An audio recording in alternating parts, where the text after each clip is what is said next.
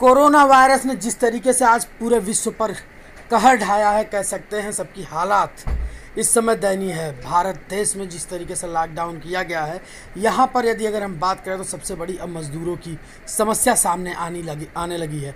खास करके हम भिवंडी शहर की बात करेंगे। भिवंडी के अहरम कंपाउंड में तकरीबन 30 से 40 लोग इस तरीके से फंसे हुए थे, जिनकी पूछ करने वाला कोई नहीं था।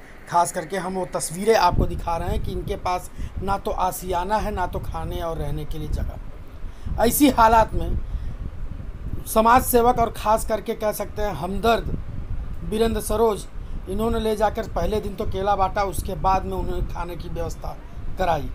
ये तस्वीरें साफ़ बयां कर रही कि किस तरीके से लोग परेशान हैं।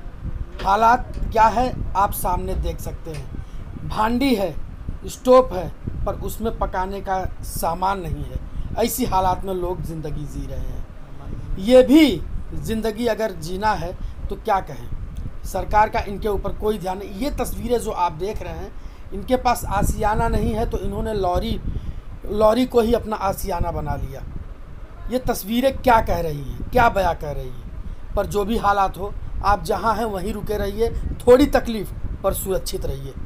जो भी ऐसे अपडेट्स होंगे हम आपको दिखाने का प्रयत्न करते रहेंगे। देखते रहिए सेवन न्यूज़ और सुनते हैं उनके क्या क्या तकलीफें हो रही है? अरे हम लोग को खाना पानी कुछ नहीं मिल रहा है सेठ पगार वगार भी नहीं दे रहा है। गाड़ी पे हम लोग गाड़ी पे किसी तरह गुजारा कर रहे हैं हम लोग। खाने पीने की कुछ व्यवस्था? अभी तक तो कुछ व्यवस्था नहीं। सेठ भी अपनी हरी झंडी उठा दिए बोला पगार पानी या खाना पीना कुछ नहीं देंगे।